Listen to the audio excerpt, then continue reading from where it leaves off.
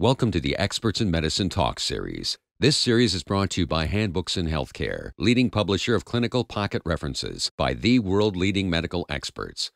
Today we are joined by Christopher Cannon, leading heart disease expert and author of Contemporary Guide to Cardiovascular Therapy and Contemporary Diagnosis and Management of Acute Coronary Syndromes. My name is Dr. Chris Cannon of Brigham and Women's Hospital in the Cardiovascular Division and also a member of the faculty of Harvard Medical School. I thought I'd take this brief moment to mention the many advances that have been happening in cardiology, and in particular in heart attack treatment or what we call acute coronary syndromes, which would encompass worsening chest pain and heart attacks. Here we've seen a real explosion in the number of medications that can be helpful in the early treatment of heart attacks, beginning with opening up blocked arteries as quickly as possible, and hence a big emphasis on getting to the hospital as soon as possible when a patient uh, has chest pain but then followed by treatment with a lot of anti-clotting drugs where we're using uh, three and sometimes even four anti-clotting medicines in the first uh, day or two of treatment of acute coronary syndromes. We've also seen improvements uh, where we use aspirin and Plavix and, and other anti-clotting medicines, but now newer medications uh, replacing some of the older ones as being stronger and having a better effect in preventing second uh, heart attacks and even preventing patients from dying after their heart attack. Another big area is in lowering cholesterol and preventing the plaques from uh, in the coronary arteries from getting bigger and leading to the heart attack in the first place. So we've been using the statin medications and more recently at higher doses and using the stronger statin medicines that help prevent uh, heart attacks better uh, than just using the weaker statin medications.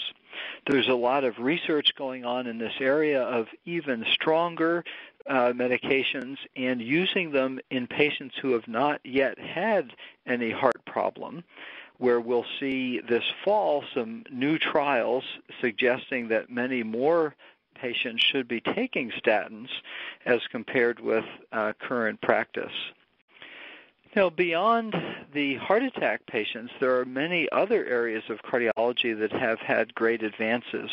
And this is uh, in the area of heart failure, where devices that help uh, pace the um, heart overall can improve the strength of uh, the heart muscle. These are for very selected patients, but is a major advance in improving uh, symptoms of heart failure and also preventing uh, sudden cardiac death. Um, there are other areas where we're trying to improve the treatment of diabetes, help patients in uh, smoking cessation, which is uh, a great way to prevent heart problems and, and obviously also cancer. Um, and also improvements in preventing uh, arrhythmias or abnormal heart rhythms. Uh, many new medications coming along and also a wider use of devices.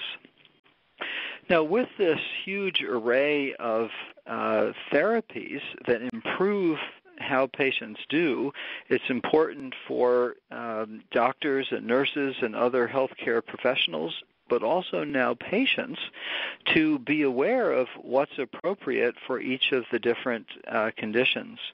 I've recently done two books uh, looking in a brief format, in a handbook style, at the current optimal treatment of acute coronary syndromes and also a broader book to look at all of uh, the current cardiovascular therapies. In this way, one can get a quick overview of what's happening in the field and move directly to what are the recommended treatments in the guidelines. And so, hopefully, being aware of the many advances and having quick access to the key information will help apply all of these helpful therapies and thus prevent patients from having heart attacks and other problems uh, in the field of cardiology. Thanks for tuning in to the Experts in Medicine Talk series, brought to you by Handbooks in Healthcare. If you are interested in purchasing copies of this or any other titles by Handbooks in Healthcare, please call 800 860 9544 or email custserve at hhcbooks.com. All Handbooks in Healthcare titles retail for under $25 a copy and can be purchased in bulk quantities at substantial discounts. Handbooks in Healthcare can be found on the web at www.hhcbooks.com.